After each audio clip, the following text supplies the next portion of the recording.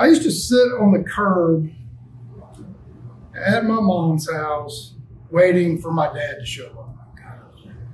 He almost never showed up. I would always sit there and I'd wait and wait and wait. And this, this really occurred to me as I've been taking inventories of myself. Like, what is causing me to have these emotions that I'm having? Why do I get irritated so easily at certain things? Because I really get irritated when people aren't on time. It really makes me think, all right, well, you don't love me, you don't respect me, you don't care about me. So now my anxiety's up. And I mean, just a little bitty thing a few minutes ago, y'all, everybody coming in here one minute late. It instantly ignites my emotions. I'm like, all right, they don't they don't care. But I realize where that comes from now. Because I really have been disappointed in my life by that. It's had a massive impact on how I see things. Now, people being late is still a problem. It's disrespectful. You're infringing upon somebody's time. Like there's a real reason to not appreciate people being late. But to let it get over the top with anxiety and all of the things that, you know, ignite various emotions in us, we probably should figure out what those are and where that comes from so we can guide ourselves to a better place. And it took me a long time. I had a conversation with my dad just the other day, which is pretty rare, about once a month. It's really difficult for me now to get irritated. I'm trying not to get irritated. So this is kind of what our presentation is about today. What is it? Why? Why are we thrown into sadness? Why are we thrown into isolation, fear, anger? Why do we get irritated so easily? What has happened in our experience of life, what are our learned behaviors that we allow those triggers and those ignition switches to go off?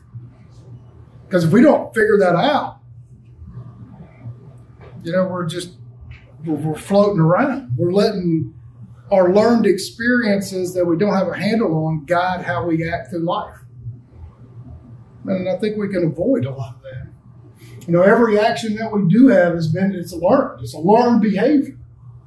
And I think we're going to examine some stuff. And maybe through these 11 slides, we'll kind of get to know ourselves a little better and use one of these tools of taking um, this exam of ourselves. You know, these infinite energies gave us this ability to, to think, to understand ourselves. And we should use it. You know, how about this one? There's we run into this. We run into this a lot here, especially when we have a, a bigger crowd you could tell when somebody has not had a lot of affection in their life. You know, like you go to give them a hug, man, or even friends. You know, like I, we all have friends that do this little side hug stuff. Like, oh yeah, good to see you. You shake their hand, they pull you in and do this because they don't want to hug. You know, is that because your daddy didn't love you? Is that because your mom didn't hug you? Or maybe, um, maybe you were abused. Who knows? But until you understand that, like, what kind of walls are we building if we're not able to express uh, affection toward others. Like something is going on in there. Like there, there's something stopping us because we're all social. We all need each other.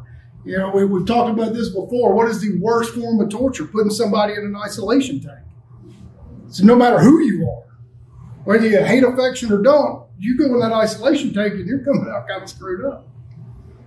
So obviously we need people. And if we need people, that means we also need affection. We need to be seen. We need to be heard.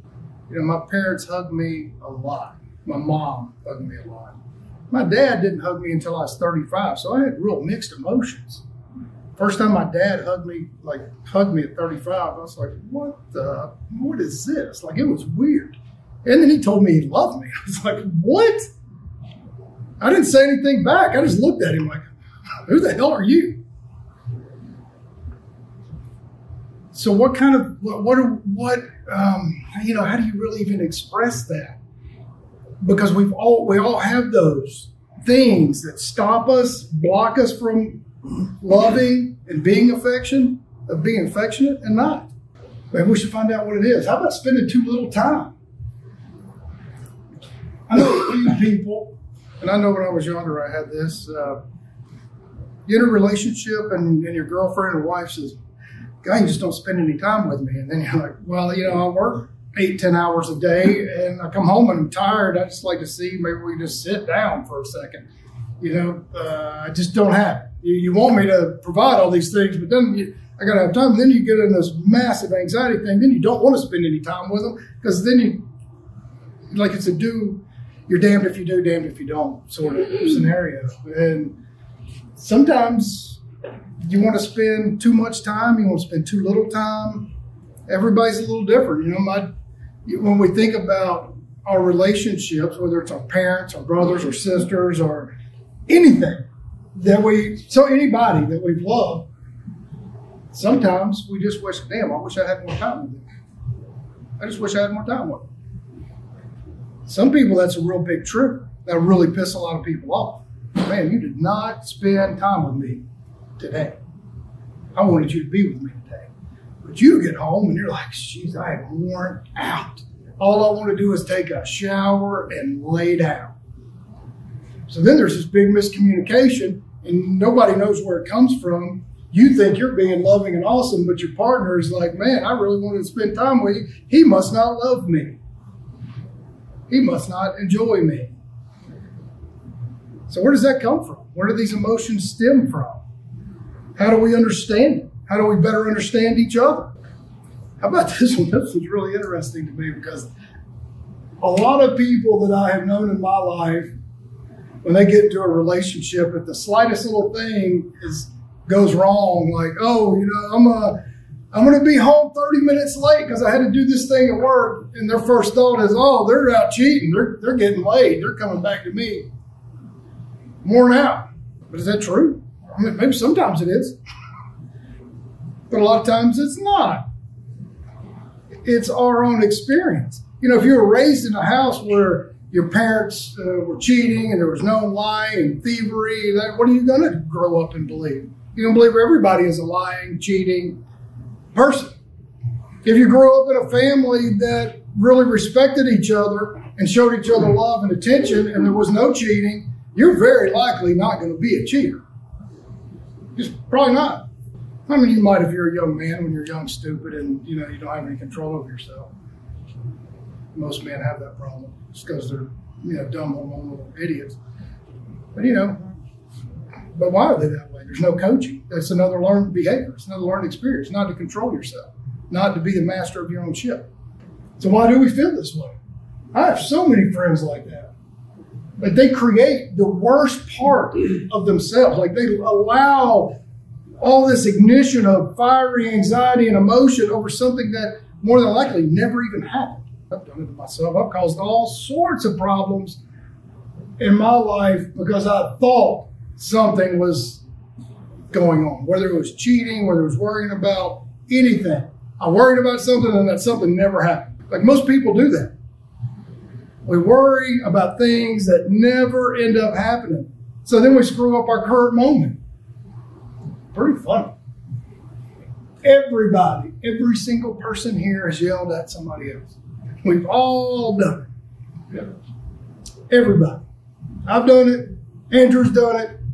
Randall, Steve, Dean, Thomas, especially Ricky. Everybody has done it. what are, what are we saying to somebody else when we do that? You, you know I mean? Real. First of all, when somebody comes at you, like what, what makes us feel that that is appropriate? What experiences have we had in our life as a kid, as a young adult, that makes us think that that is a good way to communicate? Like, has it ever worked out good for anybody to do that? Like, ever? The answer is hell no, it hasn't. Like, not one time. It's never worked out better if me and Steve are brothers and I just start yelling at him because uh, he was, you know, whatever. He said he was going to do this one thing he didn't do it. So I just start yelling at him. That is not going to improve our relationship. It would be pretty stupid. You know, Jill went on, uh, went on this meditative retreat thing and I was extraordinarily supportive. And I think she was kind of shocked that I was like, man, I'm all for it. Go ahead because her life experience was no, What do you mean you want to go to a meditative thing? No. Like I could tell that she was afraid to ask me if that was okay. That's a learned behavior.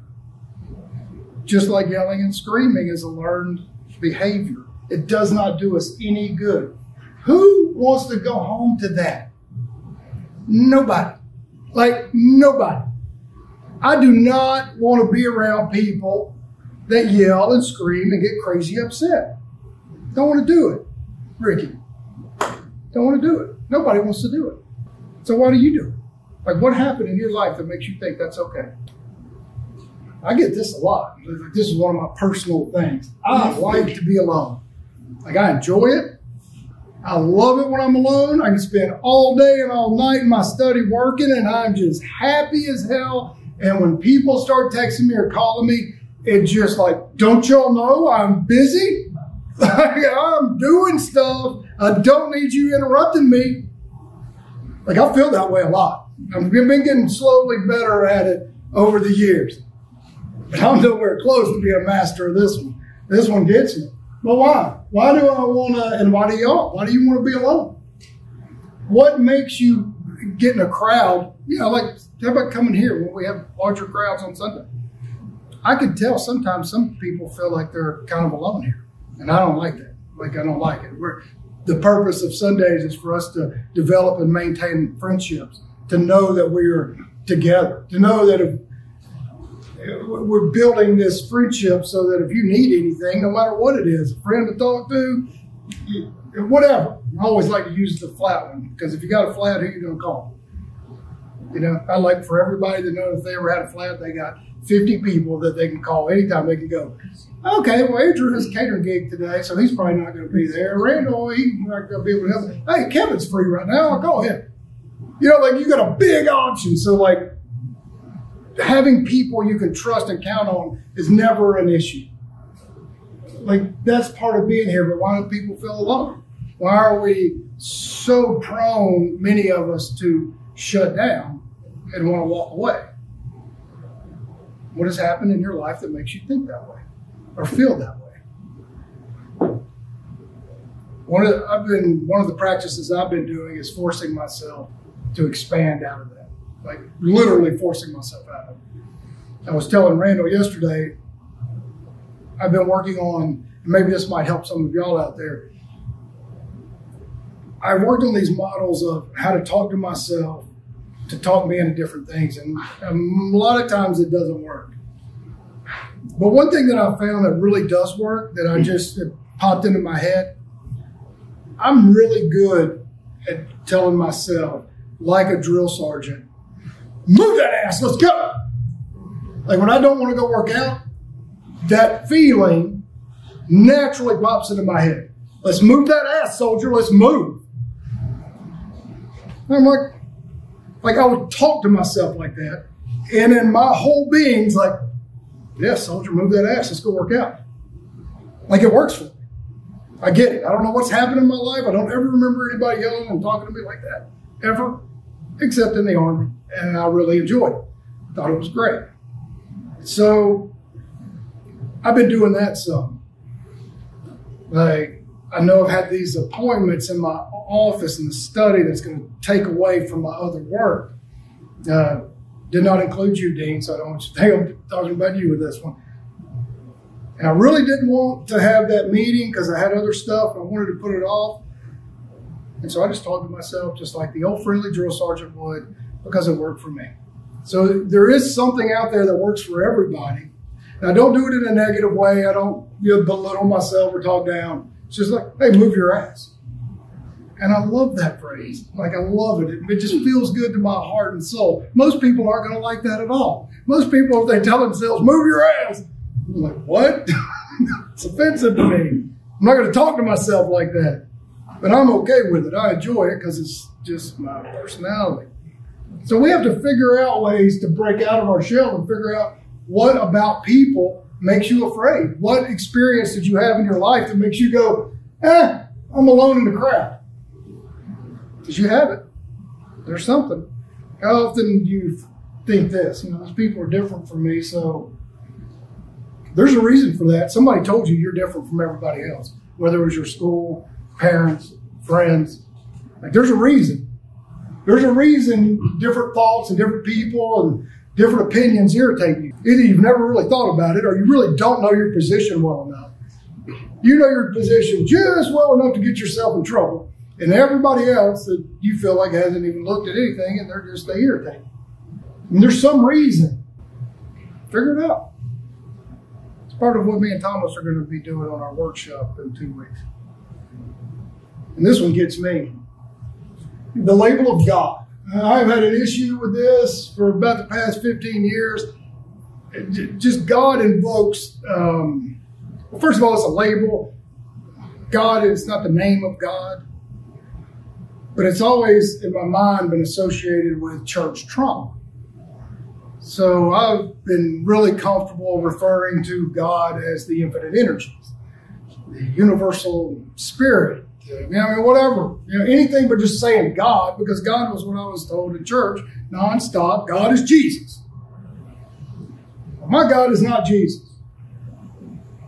Everybody else could have Jesus. That's fine. My God was not. I, when I think of God, I don't think of you know Jesus in a robe healing people. It's not what I think. I think there's even science has proved there's these infinite energies all around us and flowing, and we can connect to it, and we can help each other and elevate each other, and all those things. But that every time I hear that, I have this emotion that gets triggered of being a 15 year old boy and the bishop telling me that if no, your time you just started masturbating, didn't you? God's really going to be pissed off at you.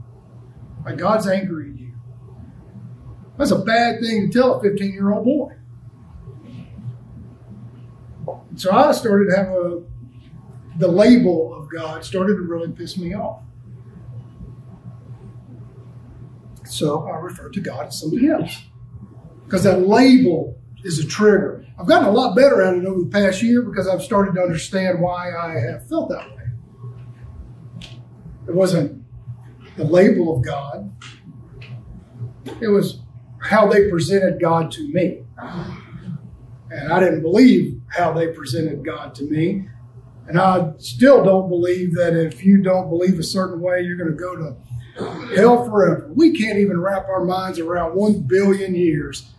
Like it's impossible. If we had a linear straight line for eternity, one billion years, you would not even be able to see it on the time mark. So for somebody to tell me you're going to go to hell and fire and brimstone forever, that's kind of an emotional trigger for me. I think you're being separatist. I think you're dividing. I personally don't like it. Just me. But I've had all these weird church traumas that a lot of other people I know have had too. And that's one of the reasons why we gather on Sunday, so we can talk about it, we can figure it out, we can work out what is wrong, so we can elevate our spirit. We can connect to the infinite energies. And we can get over ourselves. Like we can. And it really helps when you have good, trusting people to be around. Some of y'all know Antoine that big, huge dude that comes out here. Antoine is a big dude.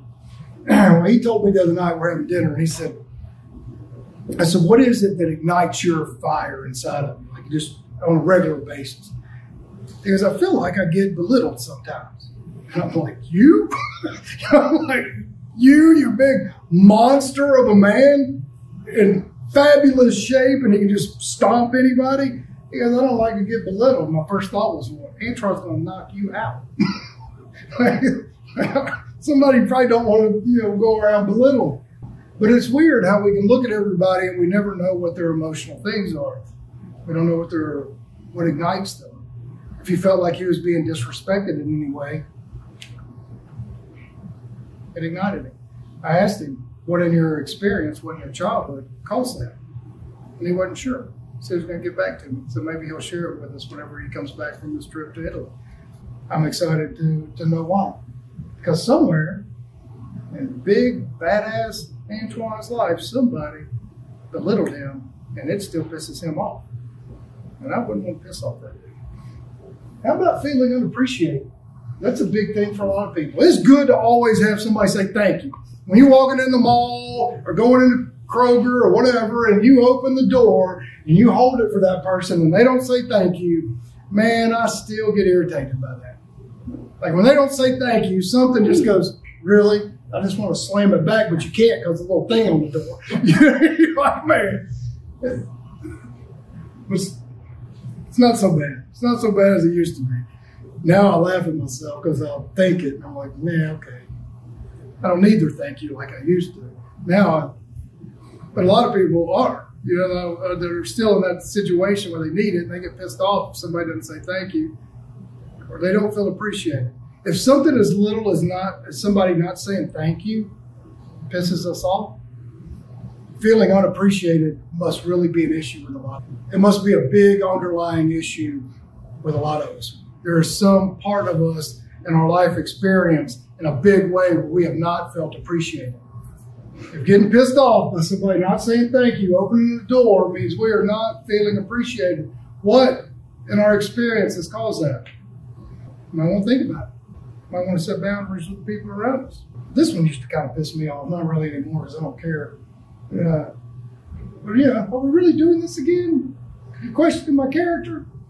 That would bother me because I worked really hard to maintain a really specific reputation to do exactly what I told you I was going to do. I've worked on that since I was 25 and finished reading The Laws of Success by Napoleon Hill. I highly recommend that book. Brad's about to finish it. The um, so that would piss me off if I heard somebody saying something kind of negative or derogatory toward me, almost like Antoine feeling like he was getting belittled. I want to get froggy. I go, yeah. You, you think that?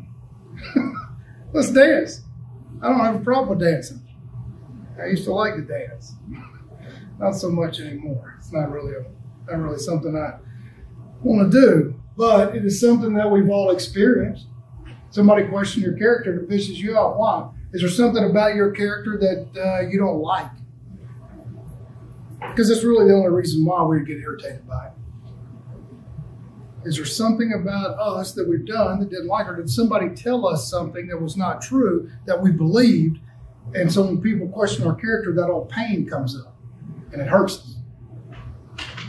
We might want to understand these things so we can know ourselves better. I had this one all the time. You know, people will risk, just like cheating, yeah, I'll risk uh, their life, their reputations, uh, everything, whether it's drugs, alcohol, you know, I don't care if I lose my wife or the, my kids or whatever these things. I'm still going to take that other drink, and I don't care what you say. I'm going to go do that other drug or whatever it is. I don't. I don't care. I just don't care. I can't remember if this was with you, Randall, or not, but we were having a conversation. I've had the tendency of thinking I was not good enough for, uh, and in the past of certain relationships. I still get that tendency every now and then with Jill. I'll think, okay, I'm not good enough for that. I'm, i probably need to, like, if something happens, you know, she comes home and I'm upstairs working, no, I don't need to go down and hug her right now. I got shit to do. I'm Kevin, and I don't mind blowing that up like that. There's a there's a feeling and force. It had never came out. I haven't. It's never been expressed. I will go down there I will catch it and go, what are you doing? I mean, every now and then I'll not do it on purpose, but every now and then something will hit me and go, no, you're, you're, you, you need her to get mad at you. But Jill's never been mad at me. Like never. It's the weirdest thing ever. And I've never got mad at her we've never yelled at each other. It's the strangest thing ever. Like I'm still wrapping my head around it almost every day. Like I didn't even know it was possible. I thought all relationships required yelling. Like it just seemed like that's what you do. You know, I'm pissed off at uh, you know Steve. So you're my big brother. You know, why wouldn't I yell at you every now and then? Isn't that what people do? You know, oh, I'm not good enough. I need see Steve to see me. I better yell at him some. It's weird. So there's something inside of me that makes me feel like I'm a little unworthy and I'm all right to uh, destroy this relationship. I don't know what it is. I haven't figured it out yet, but I'm going to. I don't know when. I hope I figure it out before I'm dead. But, you know, I hope so. But we all have them. So we have to explore ourselves and figure these things out. What is it about ourselves? All of these things. That's why Thomas is this workshop in two weeks is going to be so much fun. Is these things can help us change. We can move. We can deviate. We can step aside. We can understand that, hey, just because my dad didn't show up for me doesn't mean Andrew's not going to show up for me. Doesn't mean Randall's not going to be here when he says he's going to. Thomas said he was coming today. Guess what? Thomas is here. Brad told me. I didn't even, I don't think I talked to Brad yesterday, but he said he was coming. I didn't need to talk to him. Brad told me he was coming. So why do I still get mad when people are one minute late? you know, why do I do it? Thanks, Dad. Dick. Just kidding. yeah. Well, we must discover who we are. It is really important. And I hope you guys watching, so many of y'all been watching, and I appreciate it. I know y'all are at home on your couch. Come out. We have good people here striving to be better people. We need to be social. We need friendships. And without them, the world is doomed. We have to stop all these divides inside of ourselves and outside of ourselves and learn how to be a better human being. Thank you. All I appreciate it. This resonate?